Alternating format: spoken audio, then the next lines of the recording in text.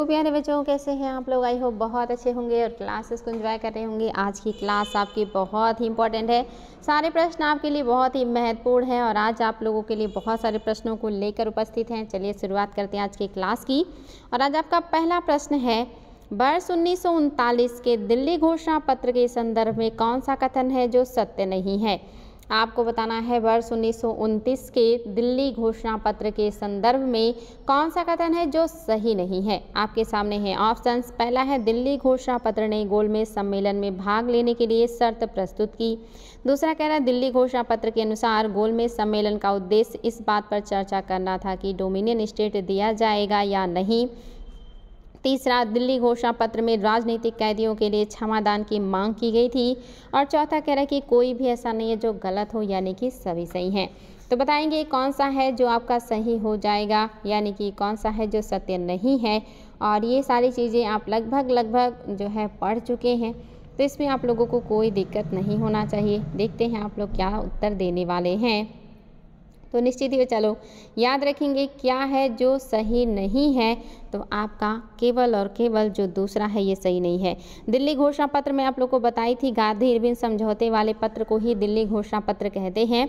पहला बिल्कुल सही है कि गांधी इरविन समझौते ने गोलमेज सम्मेलन में भाग लेने के लिए शर्तें प्रस्तुत की है और गांधी इरविन समझौते में राजनीतिक कैदियों के लिए क्षमादान की मांग की गई थी। हालाँकि उसमें से जो लोग आपराधिक गतिविधियों में संलिप्त थे, उनको नहीं छोड़ने की बात इरविन ने की थी। दूसरा जो कह रहा है, ये क्यों गलत है? जो कि आप सभी को पता है कि जो आपका गोल में सम्मेलन था, ये क्यों बुलाया गया था?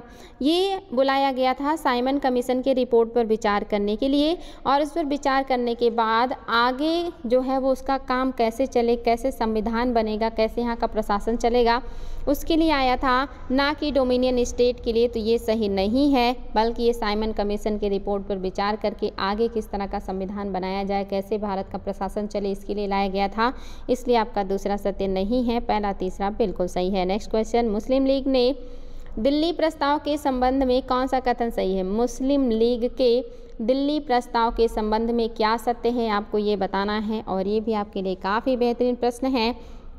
आपका पहला ऑप्शन है, इसने पृथक निर्वाचन मंडल के स्थान पर संयुक्त निर्वाचन मंडल प्रस्ताव का समर्थन किया था।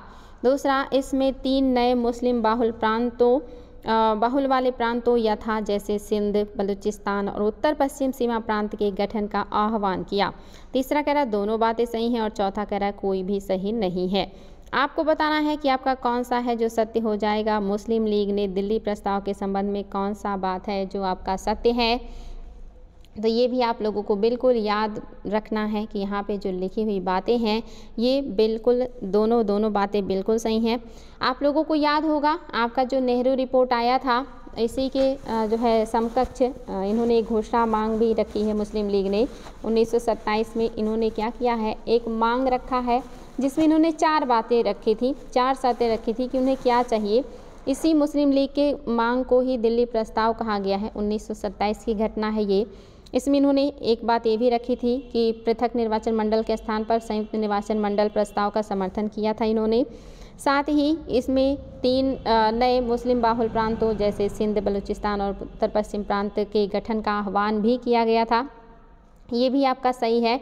इसके अलावा इन्होंने पंजाब और बंगाल में मुसलमानों को उनकी आबादी के अनुपात में प्रतिनिधित्व देने की बात भी कही थी और साथ ही कहा था कि केंद्रीय विधानसभा में मुसलमानों को एक तिहाई प्रतिनिधित्व मिलना चाहिए। तो दोनों बातें बिल्कुल ही सही हैं। साथ ही ये भी याद रखिएगा कि विधानसभा में जो है, एक तिहाई प्रतिनिधित्व की बात भी कही है और साथ ही पंजाब और बंगाल में मुसलमानों को उनकी आबादी के अनुपात में भी प्रतिनिधित्व देने की बात कही थी। ये चार बातें दिल्ली प्रस्ताव में मुस्लिम लीग के द्वारा रखी गई थी। अगला क्वेश्चन देखिए बेबल योजना से है और ये भी आपके लिए काफ़ी इंपॉर्टेंट है। पहला है, आपको बताना है क्या सही नहीं है? बेबल योजना के संदर्भ में क्या सत्य नहीं है? आपको ये बताना है। पहला कह रहा है इसमें वायसराय की कार्यकारिणी परिषद को पुनर्गठित करने करना तथा, या सॉरी, करना था जो एक अंतरिम राष्ट्रीय सरकार के समान कार्य करती। दूसरा कह रहा है, कार्यकारिणी में मुसलमान सदस्यों की संख्या स्वर्ण हिंदुओं के समान होती। तीसरा कह रहा है, विदेशी मामलों जिसमें जनजातीय मामले भी सम्मिलित हो, भारतीयों को सौंपे जानी थी। चौथा कह रहा है कि कोई भी ऐसा नहीं है जो कि आपका गलत हो, यानी कि सभी सही हैं।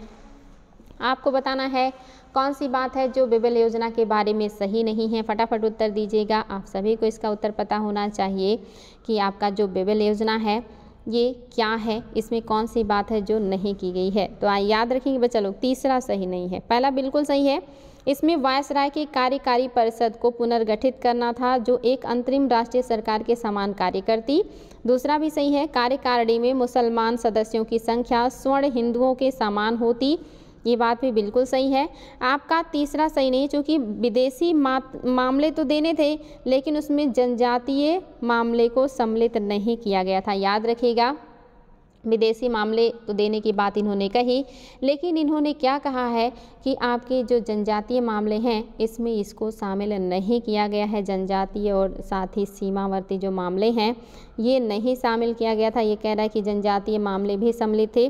तो इसमें केवल विदेशी मामले हैं, जनजातीय और सीमावर्ती मामलों को इसमें शामिल नहीं किया गया था। तो इसलिए आपका ये तीसरा जो है, ये गलत हो गया है। पहला और दूसरा बिल्कुल सही है, इसमें आप लोगों को कोई दिक्कत नहीं होना चाहिए।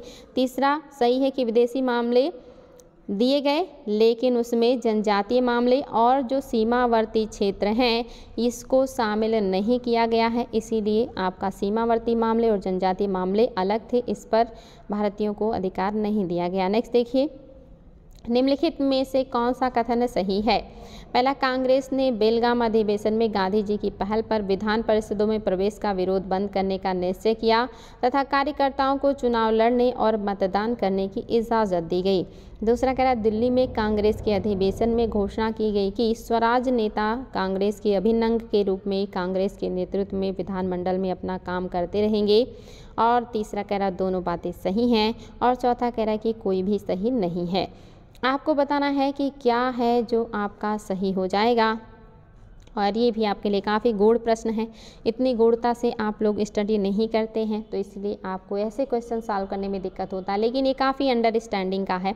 आप सभी को ये पता होना चाहिए कि जो आपका कांग्रेस ने, यहाँ तो फ़िलहाल जान लीजिए कि कोई भी सही नहीं है। अब क्यों सही नहीं है, ये जान लीजिए। कांग्रेस ने बेलगाम अधिवेशन में क्या किया है? यहाँ पे गांधी और जो है दास, जो आपके चितरंजन दास हैं और गांधी। चितरंजन दास और गांधी के बीच एक समझौता हुआ, जिसके द्वारा उन्होंने कहा कि जो स्वराज नेता है, कांग्रेस के अभिन्न अंग के रूप में कांग्रेस के नेतृत्व विधानमंडलों में अपना काम करते रहेंगे। ये कब किया गया है? बेलगाम अधिवेशन में, जहाँ गांधी जी अध्यक्षता कर रहे हैं और यहाँ पे सी आर दास जो है, जो स्वराज दल के संस्थापक हैं इनके बीच समझौता हुआ और यहाँ पे गांधी जी ने इजाज़त दे दिया कि जो स्वराज नेता हैं ये कांग्रेस के अभिन्न अंग के रूप में कांग्रेस के नेतृत्व में विधानमंडलों में अपना काम करते रहेंगे। दूसरा जो है इसका सेम अपोजिट है यानी कि 1923 में दिल्ली में कांग्रेस के अधिवेशन में घोषणा की गई कि विधान परिषदों में प्रवेश कर विरोध बंद करने के आ, का निश्चय किया गया तथा कार्यकर्ताओं को चुनाव लड़ने तथा मतदान करने की इजाज़त दी गई। तो यहाँ पे एक चेंज कर दिया गया है। ये चीज़ ध्यान दीजिएगा। दिल्ली कांग्रेस अधिवेशन में जो घोषणा की गई है वो यहाँ से है और कांग्रेस ने बेलगाम अधिवेशन में गांधी और दास के बीच जो बात हुई है वो आपका यहाँ से है। तो इस तरह से दोनों बातें एक चेंज हो गई हैं, इसलिए दोनों बातें आपकी गलत हो गई हैं। इसको बहुत बारीकी से ध्यान दीजिएगा।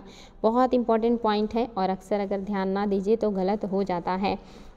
तो एक बार मैं फिर से रिपीट कर दे रही हूँ। 1924 में बेलगाम अधिवेशन में गांधी दास पैक्ट हुआ था, जिसमें ये बात की गई कि विधानसभाओं के भीतर स्वराज पार्टी को कांग्रेस के नाम तथा उसके अभिनंग के रूप में कार्य करने का अधिकार प्रदान किया जाएगा। और सितंबर 1923 में दिल्ली में एक विशेष कांग्रेस अधिवेशन हुआ था, जिसके तहत गांधी जी के नेतृत्व में स्वराजियों को कांग्रेस का एक समूह के रूप में चुनाव लड़ने की अनुमति दी गई और स्वराजियों ने भी केवल एक शर्त को छोड़कर कि वे विधान परिषदों में भाग नहीं लेंगे। बाकी सारी बातें उन्होंने मान लिया। उन्होंने कहा कि ये मत कहिएगा कि विधान परिषदों में भाग नहीं लेना है। इसके अलावा आप जो भी कहेंगे, हम सब कुछ स्वीकार करने के लिए तैयार हैं। तो याद रखेंगे बच्चा लोग, बहुत इंपॉर्टेंट ये सारे तथ्य थे। अगला क्वेश्चन देखिए, द्वितीय विश्व युद्ध के संदर्भ में कौन सा कथन है जो सही नहीं है? जो सत्य नहीं है, द्वितीय विश्व युद्ध के बारे में आपको ये बताना है। ये सारी बातें आपके लिए बहुत महत्वपूर्ण हैं, आपके ज्ञान को बढ़ाएँगी। पहला है, द्वितीय विश्व युद्ध में भारतीय जनता के लिए अभाव तथा अकाल की स्थितियाँ उत्पन्न कर दी। क्या ये बात सही है कि द्वितीय विश्व युद्ध के दौरान भारतीय जनता को अभाव और अकाल का सामना करना पड़ा? तीसरा कह रहा है, यह अकाल भारतीय पूंजीवाद के लिए ठहराव का दौर था क्योंकि अच्छा यह काल भारतीय पूंजीवाद के लिए ठहराव का दौर था क्योंकि कई जो है, कई प्रकार के युद्ध चयनित सरकारी बंदिशों का सामना करना पड़ा। आपको बताना है क्या सही है, क्या दोनों बातें सही हैं, क्या कोई भी सही नहीं है, क्या पहला सही है या दूसरा सही है, क्या सत्य है आपको ये बताना है। अच्छा क्या सत्य नहीं है ये बताना है, देखिए ध्यान दीजिएगा क्या सत्य नहीं है बताना, क्या पहला सही नहीं, क्या दूसरा सही नहीं, क्या दोनों सही नहीं, या कोई भी ऐसा नहीं जो सही ना हो, यानी कि दोनों सही हैं। अब आप बताएँगे क्या सही नहीं है तो आपका जो सही नहीं है वो दूसरा सही नहीं है। क्योंकि इस काल में भारतीय पूंजीवाद में ठहराव नहीं आया, बल्कि ज़्यादा विकास हुआ क्योंकि जो ब्रिटेन वाले थे, वो युद्ध में बिज़ी हो गए और युद्ध में उन्हें बहुत सारी चीज़ों की ज़रूरत पड़ती थी, जैसे खाने की चीज़ें हथियार हो गए, कपड़े हो गए, इन सब की ज़रूरत पड़ रही थी। बड़े पैमाने पर उनकी सेना लड़ रही थी। जिनको ज़रूरत थी और ये ज़रूरत कहाँ से पूरी हो रही थी? भारत से बड़े पैमाने पर पूरी हो रही थी। तो यहाँ के पूंजीपतियों को फ़ायदा हो रहा था चूँकि यहाँ से चीज़ों का डिमांड हो रहा था और ये सप्लाई कर रहे थे। इसलिए पूंजीवाद में ठहराव का दौर नहीं आया, बल्कि विकास हुआ है। इस समय लाभ मिला है इनको। जो आपके बड़े बड़े व्यापारिक घराने थे, इन्होंने बहुत सारे स्टॉक जो एक्सचेंज भी खोल लिए थे और बैंक जो है, जीवन बीमा कंपनियाँ हैं, ये सब भी प्रारंभ कर दी गई थी उस समय द्वितीय विश्व युद्ध के समय। तो आपका पहला तो बिल्कुल सही है कि द्वितीय विश्व युद्ध में भारतीय जनता के लिए अभाव और अकाल की स्थिति उत्पन्न हुई थी। लेकिन पूंजीपतियों को फ़ायदा मिला था क्योंकि उस समय बहुत सारी चीज़ें जो उद्योगों में बनती हैं कपड़ा हथियार और बहुत सारे विनिर्मित खाने वाले चीज़ें ये सब इनका डिमांड बढ़ा था जिससे इनको फ़ायदा हुआ था तो दूसरा सही नहीं है पहला सही है। नेक्स्ट देखिए। सविनय अवज्ञा आंदोलन के दौरान सरकार व कांग्रेस के मध्य शांति स्थापना का, का कार्य किसे सौंपा गया था? जब सविनय अवज्ञा आंदोलन चल रहा था उस समय आंदोलन के दौरान सरकार एवं कांग्रेस के बीच शांति स्थापित करने का काम कौन कर रहा है? पहला कह रहा है, तेज बहादुर सप्रू दूसरा कह रहा है, एम आर जयकर। तीसरा कह रहे दोनों और चौथा कह रहा है कि कोई नहीं। बहुत ही महत्वपूर्ण प्रश्न है। जब आपका सविनय अवज्ञा आंदोलन चल रहा था तो उस समय गवर्नर जनरल आपके इरबिन थे। इरबिन और सविनय अवज्ञा आंदोलन चलाने वाले थे। गांधी, इन दोनों के बीच इरबिन पैक्ट जिन्होंने जिनके प्रयास से संपन्न हुआ, वो कौन है? तो ये दोनों व्यक्ति हैं, आपके तेज बहादुर सप्रू भी हैं और एम आर जयकर भी हैं। इन्हीं के प्रयासों से गांधी इरबिन समझौता या जो दिल्ली वार्ता है, ये कंप्लीट हुआ था 5 मार्च 1931 को। नेक्स्ट देखिए, ब्रिटिश भारत में सात प्रांतों में अक्टूबर उन्नीस सौ उनतालीस ईस्वी में कांग्रेस मंत्रिमंडलों ने इस्तीफा दे दिया था। इसके पीछे क्या कारण नहीं था? क्या कारण है जो उनके इस्तीफा देने का नहीं है? आपको ये बताना है। और ये भी आपके लिए बहुत ही ज़्यादा इंपॉर्टेंट है। बताएँगे कि क्या है जो कि आपका सही हो जाएगा। यानी कि जो उन्होंने इस्तीफा दिया है, उसके पीछे क्या कारण? अच्छा नहीं नहीं होगा। क्या कारण था? क्या कारण थे? ये बताना है आपको। पहला है, कांग्रेस कार्यकारिणी, कार्य समिति वायसराय लिनलिथ को ब्रिटेन के युद्ध उद्देश्यों के विषय में संतोषजनक उत्तर प्राप्त नहीं कर सकी, इसलिए दूसरा कह रहा है, लिन लिथगो ने कांग्रेस मंत्रिमंडलों से परामर्श किए बगैर भारत को युद्ध में धकेल दिया था। इसलिए तीसरा कह रहा है गांधी जी भारत को युद्ध की विभीषिका से बचाना चाहते थे, इसलिए और चौथा कह रहा है कि सभी बातें सही हैं। ये आप लोगों के लिए काफ़ी इंपॉर्टेंट है। कंफ्यूज मत होइएगा। हम लोग पहले भी पढ़ चुके हैं कि उन्नीस सौ उनतालीस में जो आपके यहाँ के कांग्रेसी हैं। इन्होंने क्यों इस्तीफा दे दिया है? मंत्रिमंडलों से आपको ये बताना था। काफ़ी इंपॉर्टेंट है। ग्यारह में से पाँच जगह ये बहुमत से आए थे। दो जगह गठबंधन की सरकार कांग्रेस ने बनाई थी। लेकिन उन्नीस सौ उनतालीस में इन्होंने हर जगह से इस्तीफा दे दिया है। इसके लिए एकमात्र जो सबसे बड़ा रीज़न था वो था लिन लिथगो ने कांग्रेस के मंत्रिमंडलों से बिना परामर्श के ही भारत को युद्ध में धकेल दिया था। यही इसका सबसे महत्वपूर्ण कारण था, ये मैं आपको पहले भी बता चुकी हूँ। नेक्स्ट देखिए, क्रिप्स मिशन के संदर्भ में कांग्रेस ने क्या आपत्ति थी? क्रिप्स मिशन के संदर्भ में कांग्रेस को क्या आपत्ति है आपको ये बताना है। पहला है डोमिनियन स्टेट, दूसरा कह रहा है प्रांतों को समझ से पृथक का अधिकार। अच्छा प्रांतों को समझनी है संघ होगा? संघ से पृथक का अधिकार। और तीसरा, गवर्नर जनरल की सर्वोच्चता बनाए रखने का प्रावधान, और चौथा कह रहा है कि सभी बातें सही हैं। आपको बताना है, क्रिप्स मिशन से क्यों कांग्रेस आपत्ति व्यक्त कर रही है? क्यों इसका सपोर्ट नहीं कर रही है? क्या रीज़न आपके आपके हिसाब से क्या है जो इसके लिए ज़िम्मेदार हो सकता है?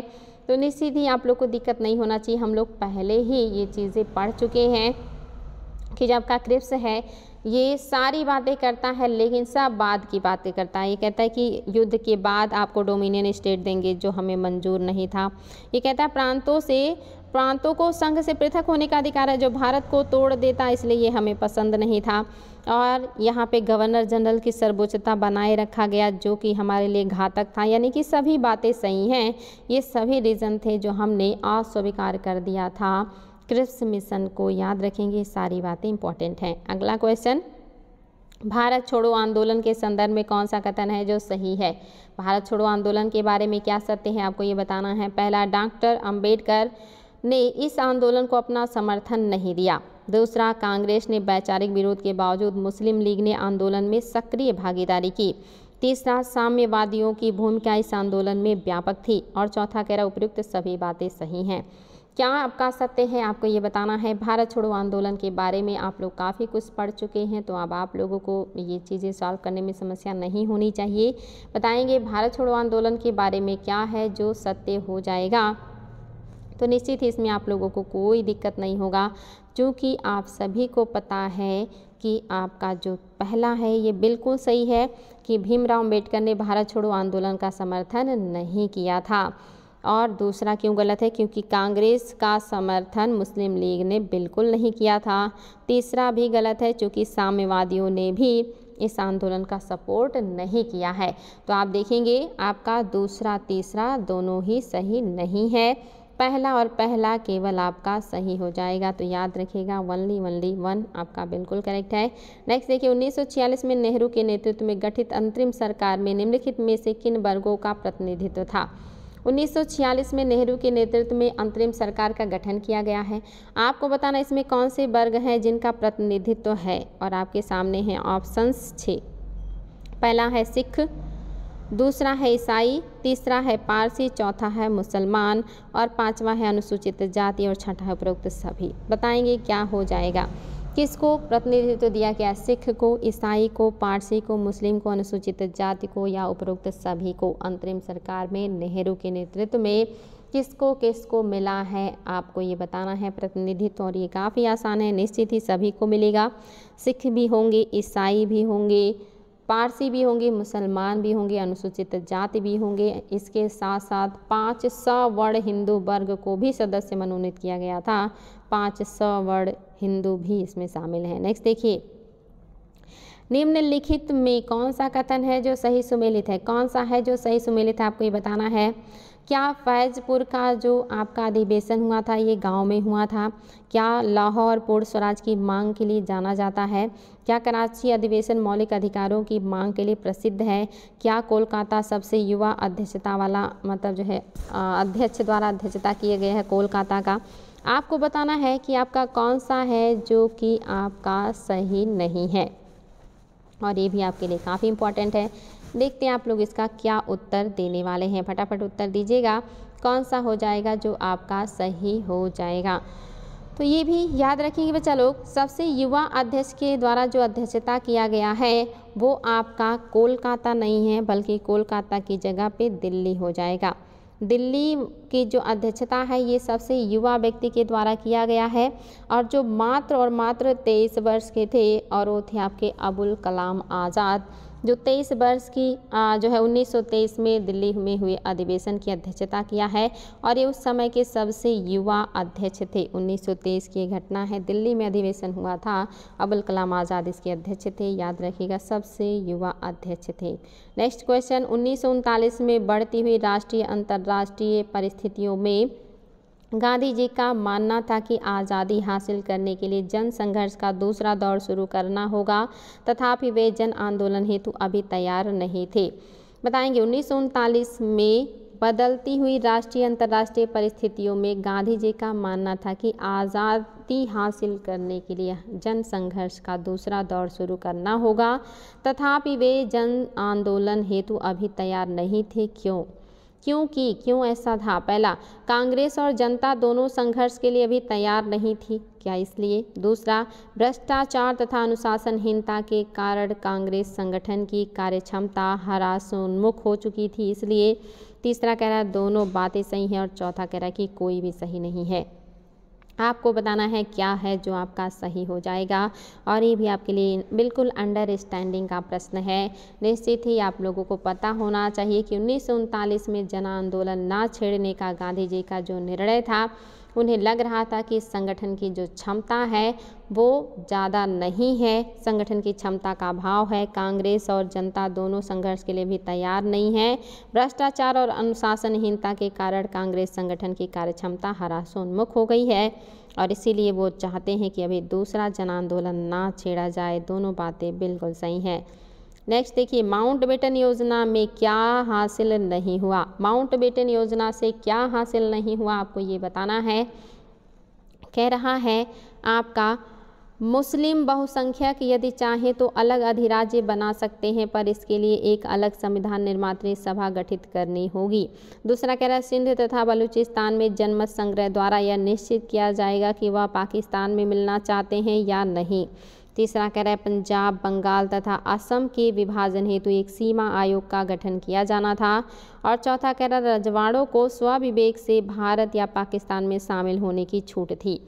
बताएँगे, माउंट बेटन योजना में क्या हासिल नहीं हुआ है? यानी कि माउंट बेटन योजना के बारे में कौन सी बात है जो सही नहीं है? आपको ये बताना है। निश्चित ही लास्ट मोमेंट चल रहा है जब भारत विभाजन की बातें हो रही हैं। तो उस समय क्या है जो सही नहीं है? तो याद रखेंगे, केवल और केवल दूसरा जो है सही नहीं है। क्योंकि सिंध और बलूचिस्तान के विधान मंडलों को ये निर्णय लेना था कि वो भारत में शामिल होना चाहते हैं या मतलब वो किधर जाना चाहते हैं, उनकी इच्छा क्या है? तो सिंध और बलूचिस्तान के संबंध में ये मैटर, बात गलत है। क्योंकि यहाँ के विधान मंडलों को ये निर्णय लेना था कि वो क्या चाहते थे। इसके अलावा जो उत्तर पश्चिम के सीमा प्रांत है, वहाँ पे जनमत संग्रह का निर्णय लिया गया था। लेकिन सिंध प्रांत में और बलूचिस्तान में निर्णय जो है ये वहाँ के विधान मंडलों को लेना था। इसके अलावा जितने उत्तर पश्चिम सीमांत प्रांत थे, उन सब के यहाँ जनमत संग्रह होना था कि वो क्या चाहते हैं। बाकी सही है कि मुस्लिम बहुसंख्यक यदि चाहें तो वे अलग अधिराज्य बना सकते हैं, पर इसके लिए उन्हें अलग संविधान निर्मात्री सभा गठित करनी होगी। पंजाब, बंगाल तथा असम में विभाजन हेतु सीमा आयोग का गठन किया गया। रजवाड़ों को भी उनके स्वाभिभाग पे छोड़ दिया गया कि वो भारत में रहना चाहते हैं या पाकिस्तान पे। नेक्स्ट देखिए, निम्नलिखित नेताओं में से किसने द्वितीय गोलमेज सम्मेलन में भाग नहीं लिया था? एम के गांधी सरोजनी नायडू, पंडित मदन मोहन मालवीय, राजेंद्र प्रसाद। कौन है जिन्होंने द्वितीय गोलमेज सम्मेलन में भाग नहीं लिया है? आपको ये बताना है और ये आपके लिए काफ़ी इंपॉर्टेंट है। देखते हैं आप लोग क्या उत्तर देने वाले हैं इसका। आप सभी को पता होगा गांधी जी द्वितीय गोलमेज सम्मेलन में गए थे। और किस जहाज़ से गए थे, ये क्वेश्चन भी आता है। तो राजपूताना जहाज़ से गए थे। राजपूताना जहाज़ का नाम था, राजपूताना याद रखिएगा, इसी जहाज़ से गए थे। और कभी कभी पूछ लेता है कि वहाँ जाने के बाद वो कौन से पैलेस में ठहरे थे। कभी कभी पैलेस भी पूछ लेता है। तो अगर आपको याद है तो कमेंट कीजिएगा। फ़िलहाल तो यहाँ बताना है कि द्वितीय गोलमेज सम्मेलन में कौन शामिल नहीं हुआ है तो आपके गांधी जी तो गए हैं, उनके साथ, जो है, महादेव देसाई भी गए थे, मदन मोहन मालवीय भी गए थे, देवदास गांधी भी गए थे और घनश्याम दास बिड़ला भी गए थे। साथ ही सरोजनी नायडू और मीरा बेन भी गई थी, लेकिन आपका कौन नहीं गया था, राजेंद्र प्रसाद इसमें शामिल नहीं थे। तो याद रखेंगे, आपका ऑप्शन नंबर फोर सही नहीं है। अगला क्वेश्चन और ये भी काफ़ी इंपॉर्टेंट है। निम्नलिखित में से कौन सा सुमेलित नहीं है? कौन सा जो सुमेलित नहीं है? कह रहा भारतीय जल सेना अधिनियम 1927 क्या भारतीय जल सेना अधिनियम 1927 में बना था? क्या सविनय वज्ञा आंदोलन 1930 में शुरू हुआ? क्या द्वितीय गोलमेज सम्मेलन 1931 में हुआ? क्या सांप्रदायिक निर्णय 1933 में हुई? आपको बताना है क्या है जो सुमेलित नहीं है? Very easy and very important देखते हैं आप लोग क्या उत्तर देने वाले हैं इसका। फटाफट उत्तर दीजिएगा, बहुत ही इंपॉर्टेंट है और आप सभी को इसका उत्तर पता होगा कि ऑप्शन नंबर जो आपका फोर है, ये सही नहीं है। क्योंकि सांप्रदायिक निर्णय 1932 की घटना है, तैंतीस की नहीं, बाकी बातें बिल्कुल ही सही हैं। इसमें आप लोग को कोई दिक्कत नहीं होना चाहिए। अगला क्वेश्चन देखिए बच्चा लोग। निम्न घटनाओं को कालानुक्रम में व्यवस्थित कीजिए। आपको बताना है कूट की सहायता से कि कौन सा है जो सही रूप से व्यवस्थित है। ये सारी घटनाएँ आप लोग पढ़ चुके हैं, इन सब का ईयर आप लोगों को याद होगा तो अब इनको ईयर के हिसाब से फटाफट लगा दीजिए। क्रम में, पहला है साइमन आयोग की नियुक्ति, दूसरा है जलियावाला बाग हत्याकांड, तीसरा है महात्मा गांधी की दांडी यात्रा, चौथा है फिरोज शाह मेहता की मृत्यु। बताएँगे सही क्रम क्या हो जाएगा। तो चलिए ईयर में बता देती हूँ। पाँच नवंबर 1915 को हुआ है फिरोज शाह की मृत्यु। दांडी मार्च आप सभी को पता होगा, ये 12 मार्च को शुरू किया था गांधी जी ने। 12 मार्च 1930 की घटना है 12 मार्च 1930 को इन्होंने किया। जलियावाला बाग हत्याकांड 13 अप्रैल 1919 की घटना है और साइमन आयोग की नियुक्ति 1927 में हुई थी। तो इस हिसाब से आपका क्या हो जाएगा? सबसे पहले आपका फोर हो जाएगा। दूसरे नंबर पे आपका जलियावाला बाग, यानी कि चार, दो, एक और तीन सबसे लास्ट में आपका आएगा थ्री यानी कि 12 मार्च 1930 इस तरह से आपका जो सही उत्तर है, वो है ए आगे बढ़ेंगे और देखेंगे हमारा अगला क्वेश्चन आई एन ए के अधिकारियों पर मुकदमा चलाया गया था। आई एन ए के अधिकारियों पर मुकदमा कहाँ चलाया गया था? पहला है लाल किला जो कि दिल्ली में है। दूसरा कह रहा है, ग्वालियर फोर्ट में। तीसरा कह रहा है, आमेर फोर्ट जयपुर में। और चौथा कह रहा है कि आगरा का फोर्ट। ये तो काफ़ी आसान है, आप सभी को पता होगा, इंडियन नेशनल आर्मी जिसको आज़ाद हिंद फौज कहते हैं, इसके ऊपर जो मुकदमा है, ये काफ़ी फ़ेमस मुकदमा है, जो कि आप सभी को पता है कहाँ चलाया गया था। लाल किला दिल्ली में चलाया गया था। नेक्स्ट क्वेश्चन देखिए, फिर से क्रम लगाने वाला है। आपके सामने हैं ऑप्शंस और आपके सामने कूट भी है। आपको इसको देखना है और क्रम में बता देना है। कह रहा, पूना पैक्ट गांधी इरबिन, समझौता, क्रिप्स मिशन और सविनय विज्ञान आंदोलन। सभी को ये ईयर याद हो चुका होगा क्योंकि मैं इन सब का ईयर पढ़ा चुकी हूँ। तो आप लोगों को बिल्कुल भी समस्या नहीं होना चाहिए। क्या होगा जो आपका सही हो जाएगा? आपको ये बताना है। चलिए बताइए बच्चा लोग, कूट की सहायता से आप लोग इसको बता सकते हैं। तो जैसे सविनय विज्ञान आंदोलन, आप सभी को पता है 1930 की घटना है। क्रिप्स मिशन 1942 की घटना है। गांधी इरविन समझौता 1931 की घटना है। इसको अगर देखेंगे 5 मार्च 1931 पूना पैक्ट 1932 की घटना है। अब देखिए क्या हो जाएगा। तो आपका सविनय विज्ञान आंदोलन जो है, ये आपका सबसे पहले होगा, चार सबसे पहले हो जाएगा। उसके बाद आपका हो जाएगा उन्नीस की घटना, यानी कि आपका दूसरा हो गया। और उसके बाद आपका हो गया क्रिप्स मिशन, आपका सबसे लास्ट में आएगा और उसके पहले आपका जो है 1931 और 32 32 में आपका पूना पैक्ट हुआ है, यानी कि आपका चार, दो, एक, तीन ऑप्शन नंबर सी। बिल्कुल सही है। चार, दो, एक, तीन हो जाएगा। यानी कि सबसे पहले सविनय अवज्ञा आंदोलन, उसके बाद आपका गांधी बिन समझौता, उसके बाद पूना पैक्ट और फिर आपका क्रिप्स मिशन। आपका ऑप्शन नंबर सी बिल्कुल सही है। नेक्स्ट देखिए। मुस्लिम लीग एवं भारतीय राष्ट्रीय कांग्रेस के बीच राजनीतिक गतिरोध को दूर करने के लिए सीआर फार्मूला किसने बनाया था? आपको बताना है, मुस्लिम लीग एवं भारतीय राष्ट्रीय कांग्रेस के बीच राजनीतिक गतिरोध को दूर करने के लिए सीआर फार्मूला किसने तैयार किया? पहला है जवाहरलाल नेहरू, दूसरा है राजगोपालाचारी, तीसरा है चित्ररंजन दास और चौथा है बी मेनन। आसान है और आप सभी को इसका उत्तर पता होगा कि सी आर फार्मूला किसने बनाया है। निश्चित ही कौन है राजगोपालाचारी? आगे बढ़ेंगे और हमारा अगला क्वेश्चन देखेंगे। निम्नलिखित में से कौन सा सही सुमेलित नहीं है? वुड डिस्पैच घोषणा पत्र क्या 1814 में आया? हंटर आयोग क्या अठारह सौ बयासी में आया? सैडलर आयोग क्या 1818 का है? क्या सार्जेंट आयोग 1944 का है? बताएँगे कौन सा है जो आपका सही सुमेलित अच्छा सही सुमेलित नहीं है तो यहाँ पे थोड़ा सा इसको हम कर दे रहे हैं अट्ठारह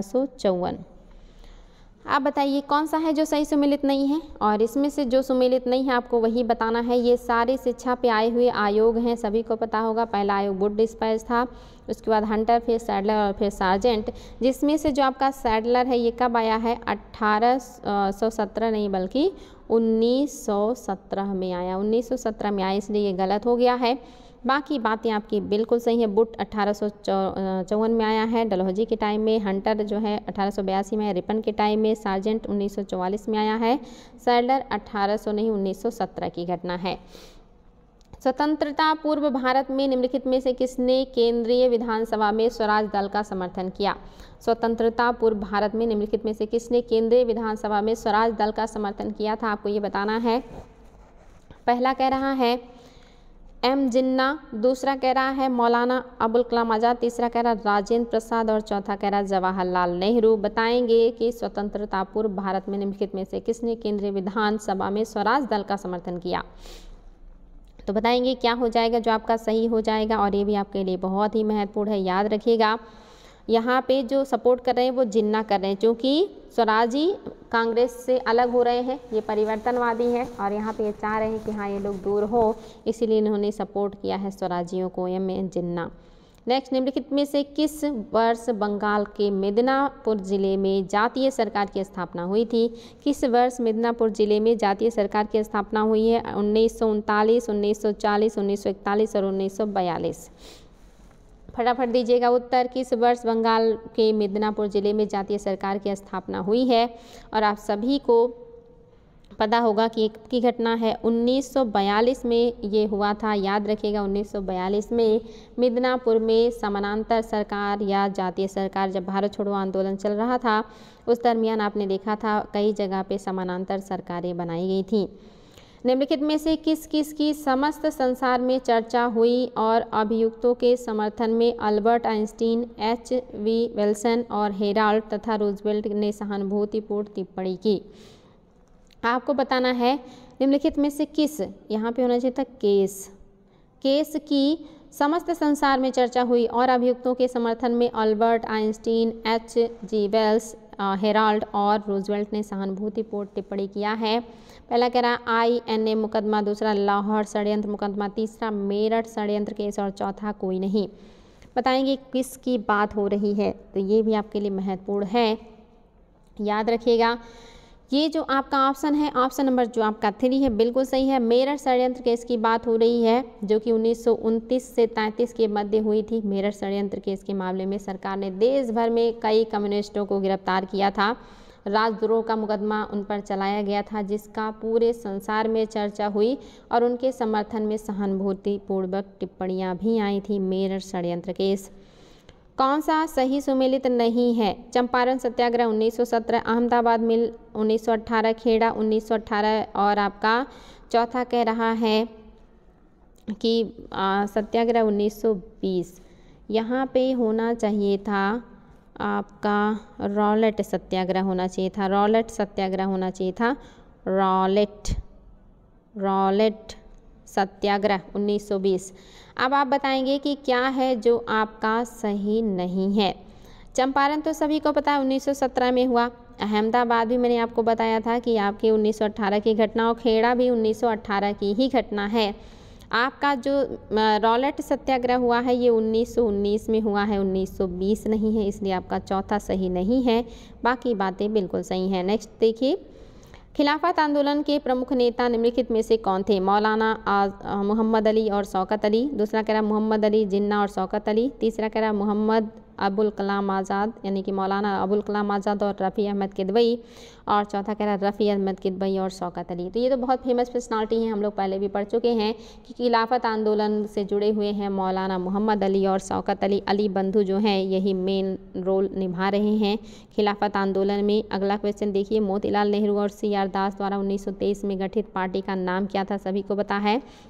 Independent party, Ghadar party, Swaraj party या इंडियन नेशनल पार्टी। इसमें तो कोई दिक्कत ही नहीं है कि उन्नीस सौ तेईस में स्वराज पार्टी का गठन किया था मोतीलाल नेहरू और सी आर दास ने। नेक्स्ट, कांग्रेस के विरुद्ध खान अब्दुल गफ्फार खान द्वारा प्रारंभ किए गए आंदोलन का क्या नाम था? लाल कुर्ती या क्विट इंडिया या खिलाफत या उपयुक्त में से कोई नहीं, ये भी आप सभी को पता है कि जो उन्होंने आंदोलन चलाया था उसको रेड शर्ट या लाल कुर्ती आंदोलन कहते हैं। इसको खुदाई खिदमतदार आंदोलन भी कहते हैं, खुदाई खिदमतगार। तो इस तरह से आपका पहला बिल्कुल सही है। नेक्स्ट, निम्नलिखित में से किसके विरोध में रविन्द्रनाथ टैगोर ने नाइटहुड की जो उनका पद है, उसको त्याग दिया था। पहला है रॉलेट एक्ट दूसरा है जलियावाला बाग, नरसंहार, तीसरा है साइमन कमीशन और चौथा है क्रिप्स मिशन। ये भी आपके लिए आसान है और आप सभी को इसका उत्तर होगा पता कि किसकी वजह से उन्होंने नाइट हुड की उपाधि धारण मतलब जो है त्यागा है, जो कि उनको अंग्रेज़ों के द्वारा मिला था। तो आपका क्या हो गया है? जलियावाला बाग, नरसंहार से दुखी होकर ही उन्होंने ऐसा किया था। अगला क्वेश्चन देखिए, बच्चा लोग, हाली पद्धति के संबंध में कौन सी बात है जो सही है? हाली पद्धति क्या था? पहला है बधुआ, मजदूर, दूसरा है किसानों के शोषण से जुड़ा हुआ, तीसरा छुआछूत से जुड़ा हुआ, चौथा कह रहा अशिक्षा से जुड़ा हुआ है। बताएँगे हाली पद्धति का संबंध किससे है? तो आप सभी को इसका उत्तर पता होगा, हाली बधुआ, मजदूरी से जुड़ी हुई बात है, जो कि बारदोली सत्याग्रह से जुड़े हुए हैं। हाली पद्धति या बधुआ, मजदूरी, अखिल भारतीय किसान सभा के संस्थापक अध्यक्ष कौन थे? आचार्य नरेंद्र देव स्वामी, सहजानंद सरस्वती, बंकिम चंद्र मुखर्जी और जय प्रकाश नारायण बताएँगे कौन है अखिल भारतीय किसान सभा के संस्थापक अध्यक्ष। अखिल भारतीय किसान सभा की स्थापना 1936 में किया गया है और 1936 में किसने किया है? स्वामी सहजानंद सरस्वती ने। लंदन में आयोजित निम्नलिखित में से गोल सम्मेलनों में से किसमें महात्मा गांधी गए थे? ये सभी को पता होगा, महात्मा गांधी किसमें गए थे या कांग्रेस ने किसमें उपस्थिति दर्ज कराई थी। प्रथम, द्वितीय, तृतीय या किसी में नहीं। तो ये सभी को पता होगा कि सिर्फ़ और सिर्फ़ द्वितीय गोलमेज सम्मेलन में गांधी ने कांग्रेस का प्रतिनिधित्व किया था। निम्नलिखित में से किस अधिवेशन में कांग्रेस ने पहली बार भारतीय रियासतों के प्रति अपनी नीति की घोषणा की थी? पढ़ चुके हैं आप लोग, रिपीटेड प्रश्न है कि किस अधिवेशन में कांग्रेस ने पहली बार भारतीय रियासतों के प्रति अपनी नीति की घोषणा किया है? नागपुर अधिवेशन में, गया अधिवेशन में, कोलकाता अधिवेशन में या लखनऊ अधिवेशन में? तो बताएँगे बच्चा लोग, बहुत इंपॉर्टेंट है। आप सभी को पता होना चाहिए, पैंतीसवें अधिवेशन में जो कि नागपुर में हुआ था, पैंतीसवां अधिवेशन। इसी में कांग्रेस ने पहली बार देसी रियासतों के प्रति अपनी नीतियों की घोषणा की थी। याद रखिएगा, इसकी अध्यक्षता विजय राघवाचारी ने किया था।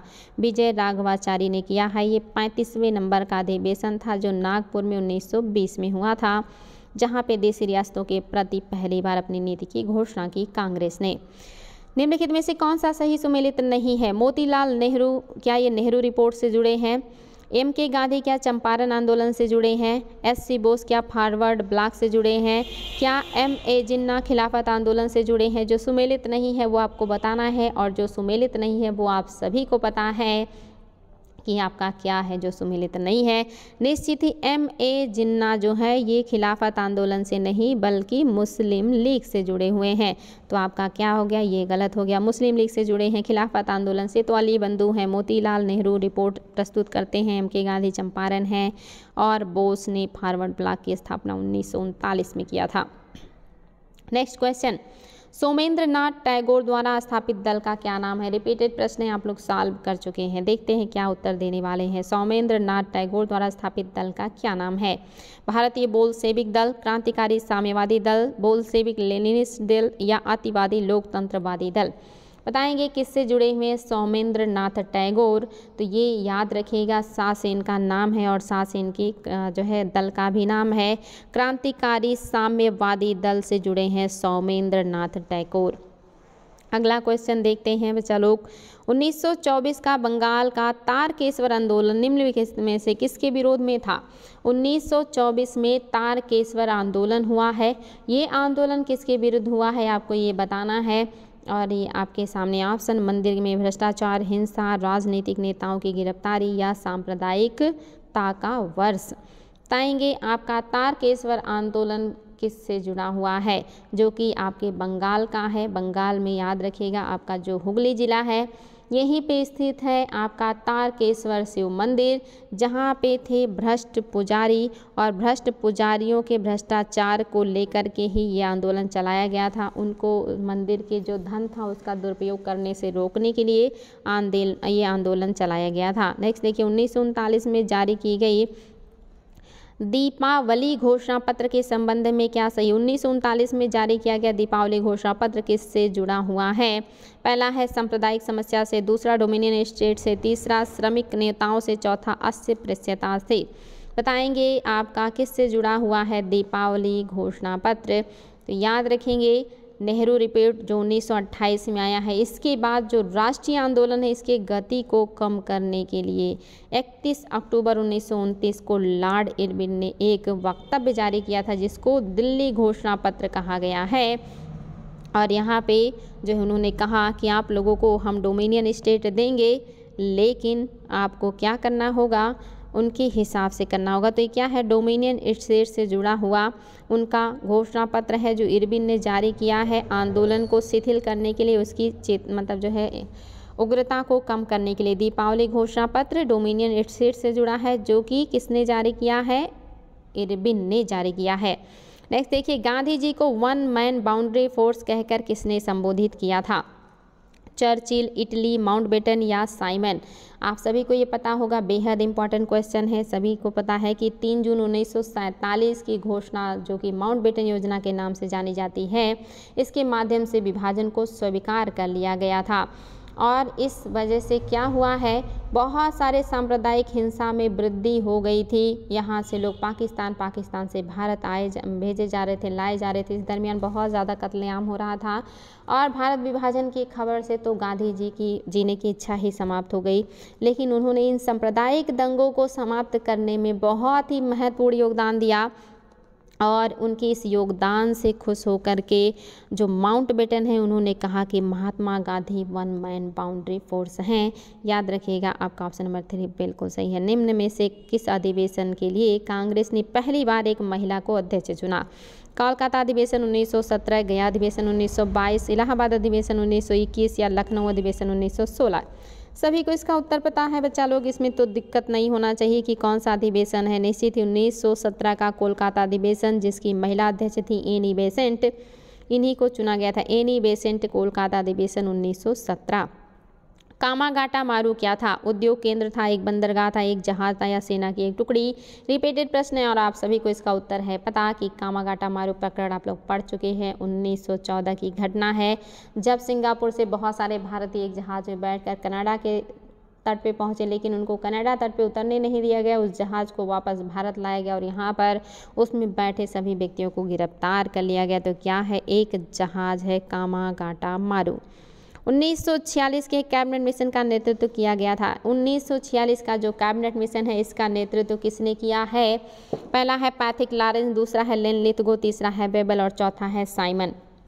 24 मार्च 1946 को कैबिनेट मिशन भारत आया था, जिसमें तीन सदस्य थे। एक थे स्टेफोर्ड क्रिप्स, जो कि उस समय बोर्ड ऑफ़ ट्रेड के अध्यक्ष थे। बोर्ड ऑफ़ ट्रेड के, यानी कि व्यापार बोर्ड के अध्यक्ष थे आपके क्रिप्स, दूसरे थे पैथिक लारेंस जो भारत सचिव थे, और तीसरे थे अलेक्जेंडर जो नौसेना मंत्री थे। ये तीनों लोग आए थे और इसमें अध्यक्षता कौन कर रहे हैं? पैथिक लॉरेंस कर रहे हैं जो कि सचिव हैं, अलेक्जेंडर सेना मंत्री हैं, नौसेना मंत्री, और क्रिप्स जो है वो व्यापार बोर्ड के अध्यक्ष थे। भारतीय राष्ट्रीय कांग्रेस का अंतिम अधिवेशन किस, जिसमें बाल गंगाधर तिलक ने भाग लिया था, वो कौन सा है? अंतिम अधिवेशन कौन सा है जिसमें बाल गंगाधर तिलक शामिल हुए थे? आपको ये बताना है। फटाफट दीजिएगा उत्तर, आपका क्या हो जाएगा? पहला है कोलकाता अधिवेशन 1906 दूसरा है सूरत अधिवेशन 1907 तीसरा है कोलकाता अधिवेशन 1917 चौथा अमृतसर अधिवेशन 1919 अंतिम अधिवेशन जिसमें वो शामिल हुए थे, आप सभी को पता होगा, ये आपका अमृतसर में हुआ था 1919 में। अंतिम अधिवेशन है जिसमें वो भाग लिए थे, इसके बाद जो है उन्नीस सौ 1920 में इनकी मृत्यु हो गई थी। याद रखिएगा 1920 में मृत्यु हो गई थी तिलक की। नेक्स्ट है, महात्मा गांधी ने अपनी पुस्तक में में किसमें ब्रिटिश पार्लियामेंट को बाज और वैश्या कहा है। बाज और वैश्या कहा है? महात्मा गांधी ने ब्रिटिश पार्लियामेंट को कौन से लेख में? सर्वोदय अथवा यूनिवर्सल डॉन? दूसरा, autobiography of the story of my experiment with truth? दूसरा है स्वराज और तीसरा है आपका स्टोरी स्टोरो ऑफ़ सत्याग्रही। यहाँ पे हिंद स्वराज होना चाहिए था, हिंद स्वराज। आपको बताना है कौन से पुस्तक में इन्होंने लिखा है कि जो ब्रिटिश पार्लियामेंट है, ये बाज है, ये वैश्या है। याद रखिएगा, ये जो पुस्तक है इन्होंने गुजराती भाषा में लिखा है और ये पुस्तक इन्होंने कब लिखा था? जब ये इंग्लैंड से दक्षिण जो है अफ्रीका की यात्रा कर रहे थे। तब जहाज़ में उन्होंने हिंद स्वराज लिखा था और इसमें इन्होंने लिखा कि ब्रिटिश पार्लियामेंट बाज और वैश्या जैसी है। जलियावाला बाग कांग्रेस समिति की रिपोर्ट के प्रारूप लिखने का कार्य किसे सौंपा गया था? जलियावाला बाग कांग्रेस समिति की रिपोर्ट का जो प्रारूप है, किसे सौंपा गया लिखने के लिए? कांग्रेस ने किसको सौंपा है? जवाहरलाल नेहरू को, महात्मा गांधी को, सी आर दास को या फजलुल हक को? बताएँगे बच्चा लोग कौन है जो कि जाँच रिपोर्ट का प्रारूप लिखने का कार्य किसको दिया गया है? तो याद रखेंगे कि आप सभी को पता है, तेरह अप्रैल उन्नीस सौ उन्नीस को जलियावाला बाग हत्याकांड हुआ था, जिसमें बहुत सारे हज़ारों निर्दोष लोग मारे गए थे। इसकी जाँच के लिए एक समिति बनाई गई थी और इस समिति का प्रारूप लिखने के लिए कांग्रेस ने महात्मा गांधी को सौंपा था कि आप इसका प्रारूप लिखेंगे। महात्मा गांधी के साथ निम्न मुसलमान में से किसने बाल गंगाधर तिलक को अर्थ की अर्थी को उठाया था या कंधा दिया था? बताएँगे, गांधी जी के साथ तिलक की अर्थी को कंधा देने वाले मुस्लिम व्यक्ति कौन है? ये क्वेश्चन कई बार आयोग के द्वारा पूछा गया है। पहला है शौकत अली, दूसरा है मोहम्मद अली, जिन्ना तीसरा मौलाना ए के आज़ाद और चौथा एम ए अंसारी। याद रखेंगे, एक अगस्त 1920 को बाल गंगाधर तिलक की मृत्यु हो गई थी मुंबई में और उस समय उनको मरने के बाद गांधी जी ने उन्हें आधुनिक भारत का निर्माता कहकर संबोधित किया था और जवाहरलाल नेहरू ने उन्हें कहा था भारतीय क्रांति का जनक उस समय महात्मा गांधी के साथ शौकत अली ने उनके अर्थी को कांधा दिया था या उठाया था, याद रखिएगा, शौकत अली। नेक्स्ट, काकोरी केस के अभियुक्तों के बचाव हेतु किसकी अध्यक्षता में एक समिति का गठन किया गया था? काकोरी जो अभियुक्त हैं, इनको बचाने के लिए एक, जो है, समिति बनाई गई है। आपको बताना है ये किसकी अध्यक्षता में बनाई गई थी।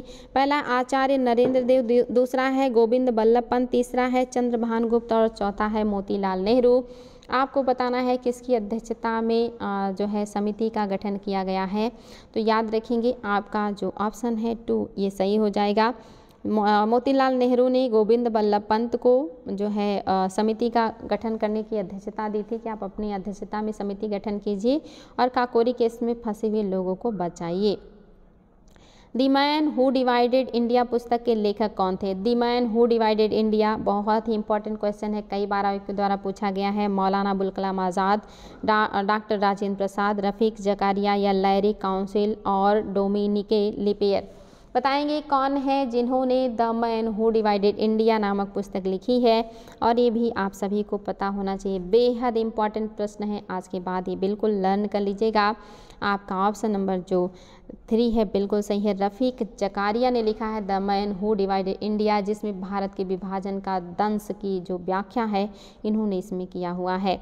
अपनी फांसी के पूर्व निम्नलिखित क्रांतिकारियों में से किस एक ने पीने हेतु दिए गए दूध को अस्वीकार कर दिया और कहा, अब मैं अपनी माँ की दूध को पीऊँगा आपको बताना है कौन है जो ये इस तरह के भावुक शब्दों का उपयोग कर रहे हैं। भगत सिंह हैं सॉरी, राजगुरु हैं, भगत सिंह हैं अशफाकुल्ला खां हैं और राज प्रसाद बिस्मिल हैं। कौन से वो क्रांतिकारी हैं जिन्होंने बात कही है? और आप सभी को पता होगा कि वो कौन हो सकते हैं। राम प्रसाद बिस्मिल, जिनको फैज़ाबाद में फांसी दिया गया था काकोरी कांड केस में। अशफाक उल्ला खां को भी इसी केस में फांसी दिया गया। फैज़ाबाद में राजेंद्र लाहिड़ी को भी इसी केस में फांसी दिया गया था गोंडा में। तो याद रखिए बच्चा लोग, कौन है? राम प्रसाद बिस्मिल। निम्नलिखित में से किसने गांधी, इरबिन, समझौते में महात्मा गांधी के लाभ को सांत्वना पुरस्कार कहा? आपको बताना, निम्नलिखित में से किसने गांधी इरविन समझौता में महात्मा गांधी के लाभ को सांत्वना पुरस्कार कहा? यानी कि कौन है जो कह रहे हैं कि जो लाभ प्राप्त कर रहे हैं इरविन समझौते से, वो एक मात्र सांत्वना पुरस्कार है, इसके अलावा और कुछ भी नहीं है। तो आपका पहला ऑप्शन है एस सी बोस, दूसरा एल एन कैंपबेल तीसरा है जॉनसन बिहार बिहार निधन। जॉनसन बिहार यहाँ पे होगा जॉनसन हरनी मैन हरनी मन। और आपका चौथा है, सरोजनी नायडू। आपको बताना है कि इसने कहा, सांत्वना पुरस्कार है, इससे ज़्यादा और कुछ भी नहीं है। तो याद रखिएगा, ये कौन है? ऑप्शन नंबर जो आपका टू है, एल एन कैंपबेल ने ये बात कही है, जो कि एक ब्रिटिश लिबरल पार्टी के नेता हैं। आज का सेकेंड लास्ट क्वेश्चन भारतीय स्वतंत्रता, स्वाधीनता को राजकीय स्वीकृति प्राप्त हुई थी। आपको बताना है, भारतीय स्वतंत्रता जो विधेयक है, इसको राजकीय स्वीकृति कब प्राप्त हुई थी? 18 जुलाई 1947 को 19 जुलाई 1947 को 20 जुलाई 1947 को या 21 जुलाई 1947 को? फटाफट दीजिएगा उत्तर। भारतीय स्वाधीन, स्वाधीनता विधेयक को राजकीय स्वीकृति कब प्राप्त हुई थी? और ये बहुत इंपॉर्टेंट है, कई बार आयोग के द्वारा पूछा गया है। ये स्वीकृति मिली है आपकी 18 जुलाई उन्नीस सौ सैंतालीस को। याद रखिएगा, भारतीय स्वाधीनता विधेयक को 4 जुलाई उन्नीस सौ सैंतालीस को ब्रिटिश संसद में पेश किया गया था, लेकिन उसको स्वीकृति क्राउन ने 18 जुलाई को दिया है। तो अगर पूछे पेश कब किया गया तो 4 जुलाई उन्नीस सौ सैंतालीस को पेश किया गया और 18 जुलाई को क्राउन ने इसको स्वीकृति दे दी थी। आज का लास्ट क्वेश्चन निम्नलिखित में से किसने भारतीय राष्ट्रीय कांग्रेस के कराची अधिवेशन को महात्मा गांधी की लोकप्रियता और सम्मान की पराकाष्ठा माना? कौन है जो कह रहे हैं कि गांधी जी की सम्मान की पराकाष्ठा है, लोकप्रियता की पराकाष्ठा है? और आपको बताना है, ये बात किसने कहा है कराची अधिवेशन के बारे में? एस सी बोस, पट्टाभी, सीतारमैया, सरदार वल्लभ भाई पटेल या सरदार किशन सिंह? बताएँगे बच्चा लोग, आज का आखिरी क्वेश्चन है और काफ़ी इंपॉर्टेंट प्रश्न है। फटाफट दीजिएगा उत्तर और याद रखें कि आपका क्या सही हो जाएगा। ऑप्शन नंबर फ़र्स्ट बिल्कुल सही है। यहाँ पे सुभाष चंद्र बोस ने कहा कि गांधी जी की लोकप्रियता और सम्मान की ये पराकाष्ठा है। तो उम्मीद है बच्चा लोग, आज आप लोगों को 50 क्वेश्चंस का ये श्रृंखला अच्छा लगा होगा और आप लोगों ने काफ़ी कुछ सीखा होगा, पुराना रिविज़न किया होगा। और भी ज़्यादा मेहनत को बढ़ा दीजिए। आप लोगों के लिए कंटिन्यू मेहनत किया जा रहा है। सभी विषय आप लोग को प्रदान करने की कोशिश की जा रही है। आप लोग मेहनत करते रहेंगे तो हमारा भी उत्साह बढ़ता रहेगा। अगर आप लोग की मेहनत में कमी आएगी तो उत्साहवर्धन नहीं होगा। तो इसलिए मेहनत कीजिए और ज़्यादा अच्छा रिज़ल्ट दीजिए और बेहतर प्रयास कीजिए। आज के लिए इतना ही। फिर मिलेंगे ऐसे ही शानदार प्रश्नों के साथ। थैंक यू थैंक यू आप सभी को।